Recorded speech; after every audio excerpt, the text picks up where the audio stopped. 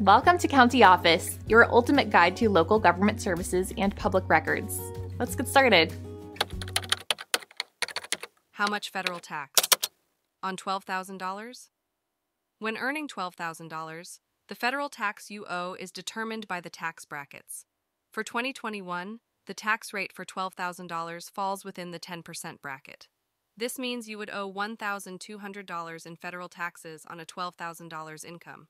Remember, tax rates may vary yearly, so it's essential to stay informed.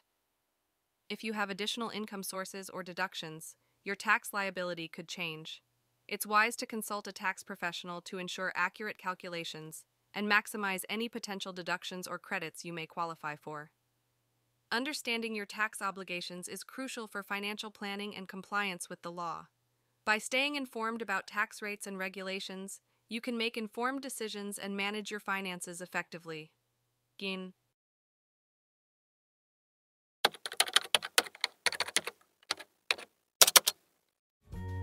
To learn more, check out these links, which you can click in the description below. And feel free to comment your questions. We're here to help.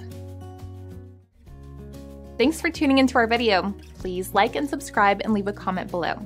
See you in the next video.